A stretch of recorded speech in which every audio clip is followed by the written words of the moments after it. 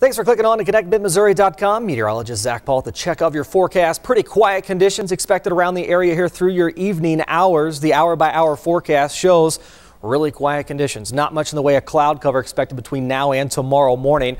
We will see temperatures pretty seasonal in the low 50s when you wake up. Going through the afternoon, strong winds out of the south and sunshine will help send afternoon highs into the upper 70s, close to 80 degrees. I do think we'll see a few spots hit 80 degrees tomorrow, but notice the cloud cover that starts building up to the north and west. That's out ahead of a cold front that's going to sweep through over the weekend and bring in chances for some rain brings a little bit of rain into northern Missouri for your late Friday night, early Saturday morning. But by Saturday afternoon, that front will be pretty much knocking on our door, and we'll see a few hit and miss showers during the afternoon and evening on your Saturday. But I don't think it'll be enough to cancel any outdoor graduation plans. Here's your Columbia seven day forecast 78 for your Friday afternoon, 75 on Saturday with partly cloudy skies. Rain showers move in, I think, during the afternoon and evening.